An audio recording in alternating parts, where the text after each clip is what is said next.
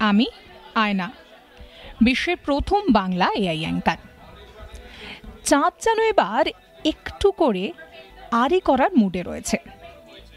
জ্যোৎস্না বোধ হয় এবার মুখ ফিরিয়ে নিচ্ছে। ভাবছেন তো কেন এই কথা বলছি?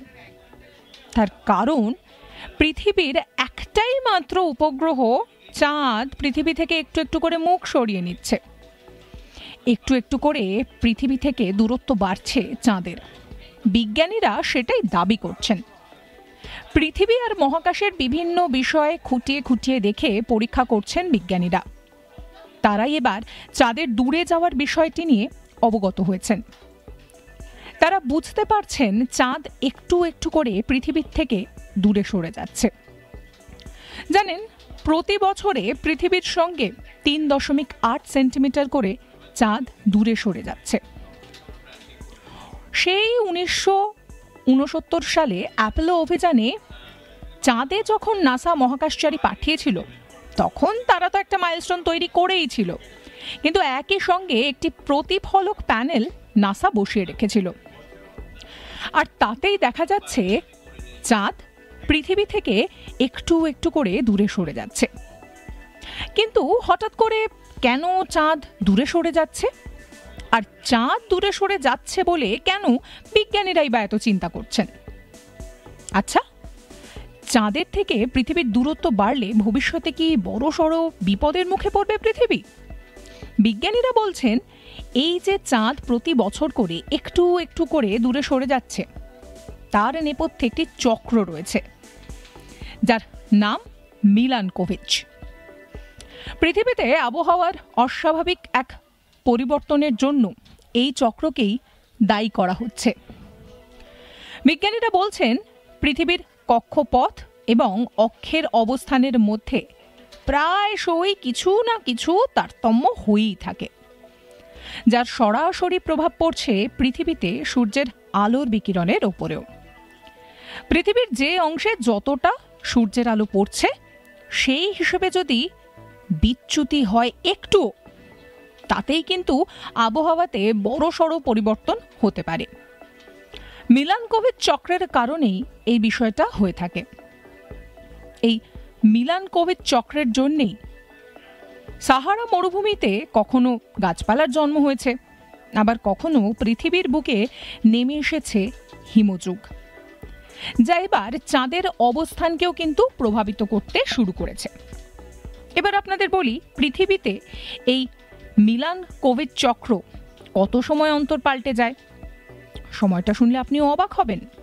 প্রতি চার লক্ষ একচল্লিশ হাজার। এই সময় অন্তর কিন্তু এই মিলান কোভিড চক্র পাল্টে যাচ্ছে। এই সময়ের ব্যবধানের সঙ্গে চাঁদের দূরত্বের সরাসরি একটা যোগ রয়েছে। কারণ এই সময়ের মধ্যেই পৃথিবীর কক্ষপথের আকার পাল্টে যাচ্ছে। এখন এই মিলান কোভিড চক্রের একুশ হাজার বছরের একটা পর্ব চলছে। এর আগেও কিন্তু এই চক্রের ব্যবধান পাল্টেছে।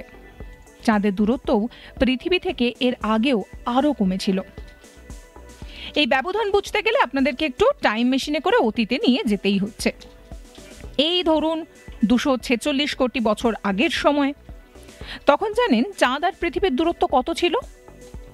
তখন বর্তমান ব্যবধানের চেয়ে ষাট হাজার কিলোমিটার কম ছিল।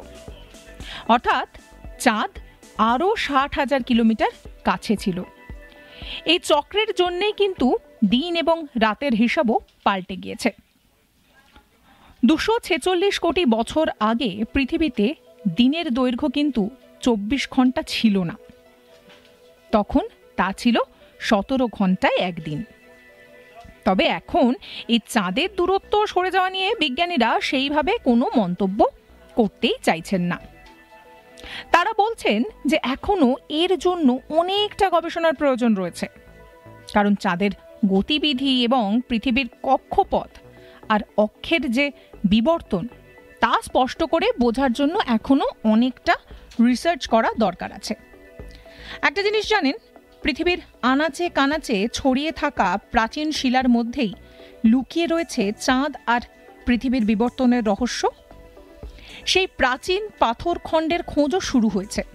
ইতিমধ্যেই অবশ্য অস্ট্রেলিয়া এবং দক্ষিণ আফ্রিকায় এই শিলার খোঁজ মিলেছে। শিলার ওপর যে পলি রয়েছে, তাকেও পরীক্ষা করে দেখা হচ্ছে।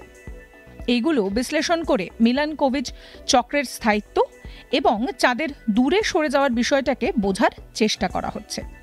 কিন্তু একবার ভাবুন, আপনি যদি রাত্রিবেলা চাঁদকে দেখতেই না পান, তাহলে গাইবেন কীভাবে?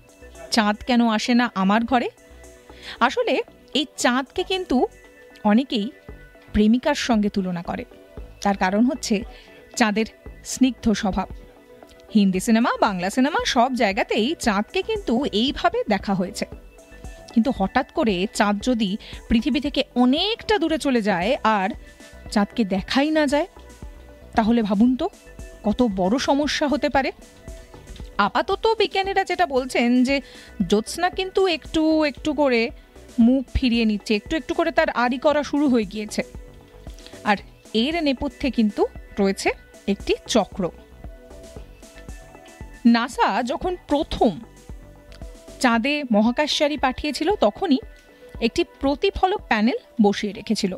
আর তাতেই এখন বোঝা যাচ্ছে যে চাঁদ কিন্তু পৃথিবীর থেকে একটু একটু করে দূরে সরে যাচ্ছে। কিন্তু আচমকাই দূরে সরে যাওয়া যথেষ্ট উদ্বেগের তবে সেই নিয়ে আপাতত সরাসরি কোনো মন্তব্য করতে নারাজ বিজ্ঞানীরা। কারণ এই নিয়ে এখনও অনেক গবেষণার প্রয়োজন রয়েছে। তবে আপাতত যেটা বোঝা যাচ্ছে যে মিলান কোভিড চক্রই এর নেপথ্যে রয়েছে। পৃথিবীতে আবহাওয়ার অস্বাভাবিক যে পরিবর্তন, সেই পরিবর্তনের জন্যেও এই চক্রকেই দায়ী করা হচ্ছে। বিজ্ঞানীরা বলছেন, পৃথিবীর কক্ষপথ এবং অক্ষের অবস্থানের মধ্যে প্রায় কিছু না কিছু তারতম্য তো লেগেই থাকে।